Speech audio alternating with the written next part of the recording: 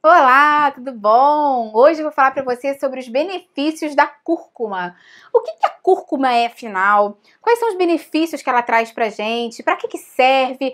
Como eu tomo? Como eu uso? Será que vale a pena usar a cúrcuma em cápsulas? Tem alguma forma de melhorar a absorção?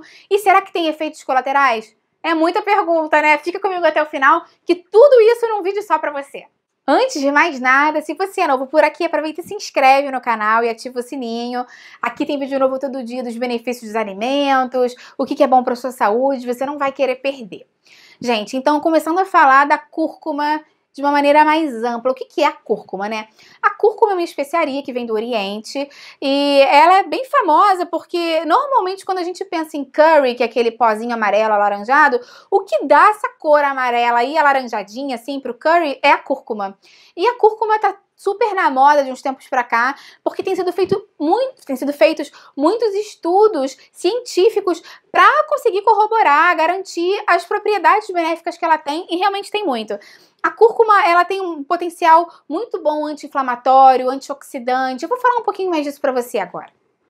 Bom, a cúrcuma ela vem de uma raiz, um rizoma que é moído e de uma forma bem arcaica, né? Ele era feito no pilão, mas ele é, normalmente é moído e ele é transformado tipo num pó, num é um, como se fosse um grão, uma areiazinha assim, porque não é tão fininho, né, como um pó, mas ele é meio grudentinho assim se você não conhece, e desse, dentro desse pó tem os compostos curcum, curcuminoides, dentre os quais tem a curcumina, que é o composto bioativo mais importante da cúrcuma. Que é, normalmente, quando eu for falar dos benefícios da cúrcuma, a grande maioria deles está relacionada à presença da curcumina.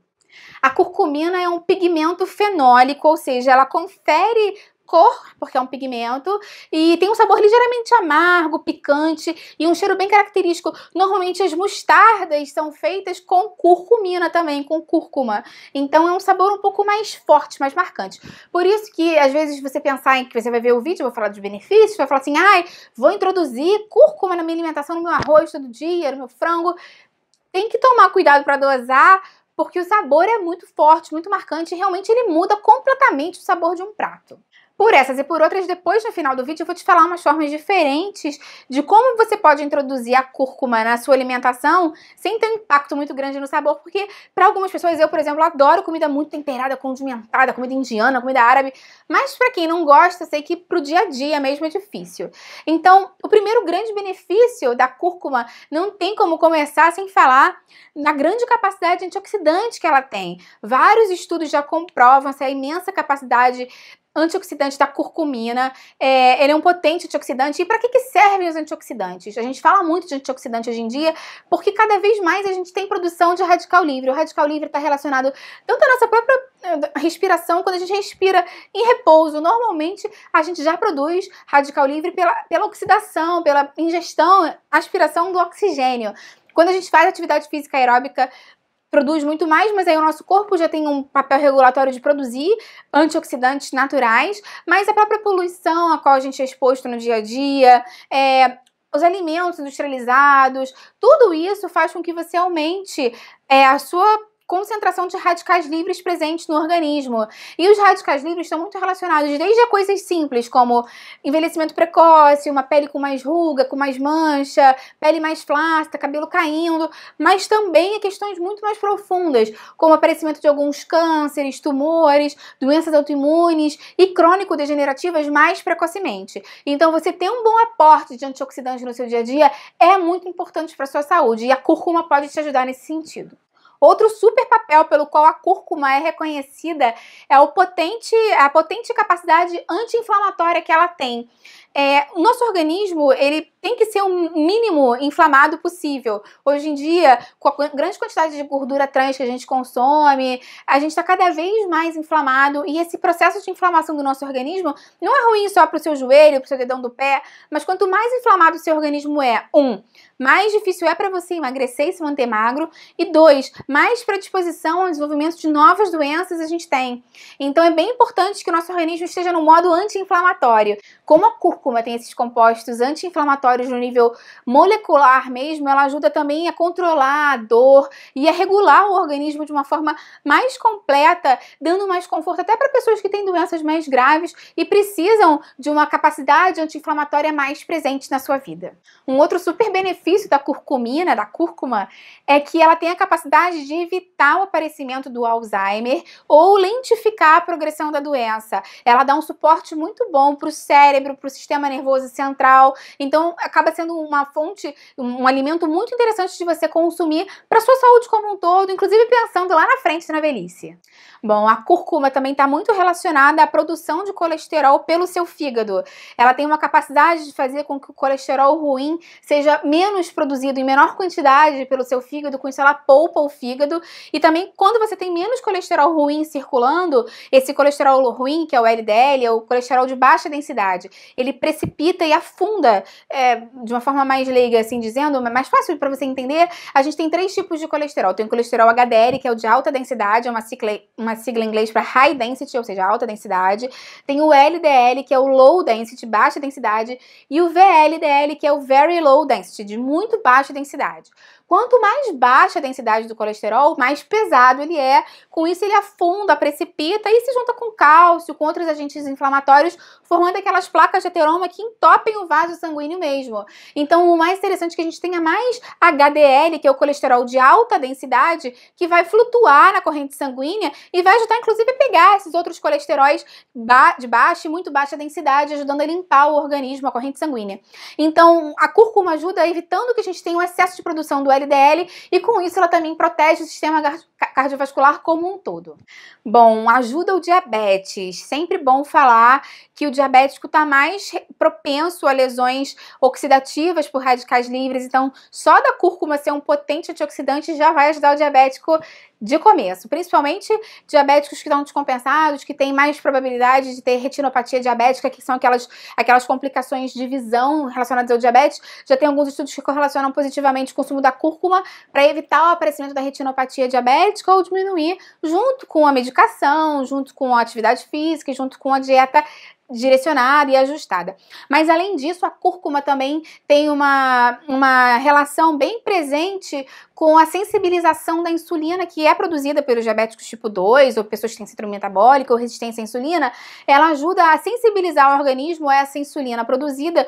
Com isso, você tem um melhor controle da glicemia, menos pico de insulina, que você não precisa produzir tanta insulina para fazer aquele mesmo papel.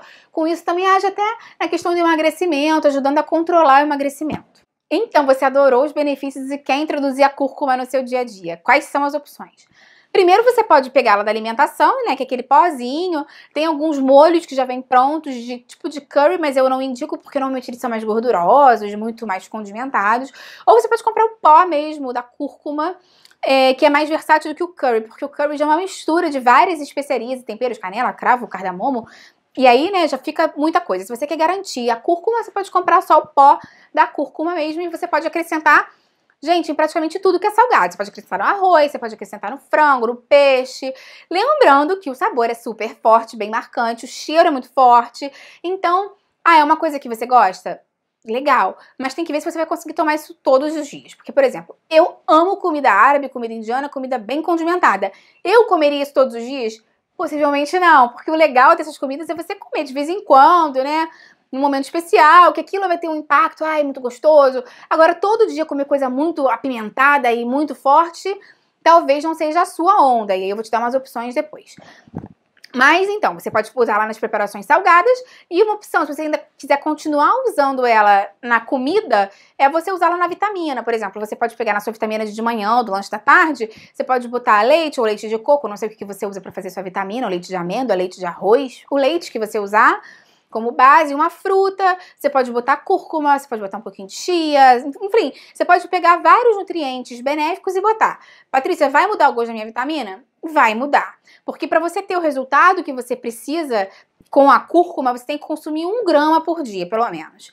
E um grama, gente, é uma quantidade relativamente grande para você botar na vitamina. Então ela vai ficar laranjinha, enfim, tem toda essa questão.